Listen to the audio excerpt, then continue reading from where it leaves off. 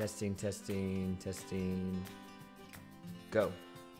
Hey everyone, it's that Math Magician, and on this video, let's take another look at how we can isolate a variable in a given equation. And let's go ahead and look at the equation 2 times the quantity y minus 3 equals 4.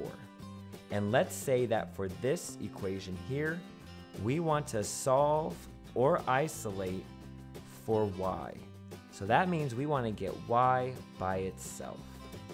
So first thing that I always do when I'm dealing with isolating a variable is I always rewrite the equation and I write the variable that I want by itself in another color so I can see how I'm going to get it by itself.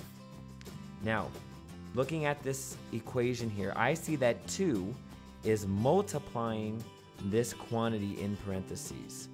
So unfortunately, I know some students might want to jump and try to add 3 to both sides, but since that negative 3 is trapped inside those parentheses, we actually can't go to that step first. Instead, we need to divide both sides by 2 so that we can get rid of this 2 in the front.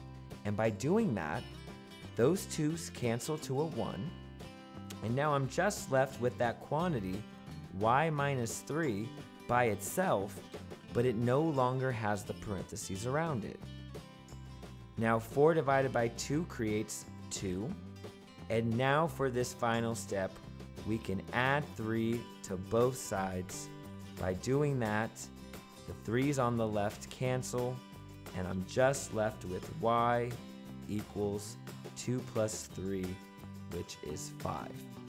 This is an example of isolating a variable where there is no other variable in the answer, so you end up just having y equal a number. Alright guys, it's that Math Magician, and I'll see you on the next video.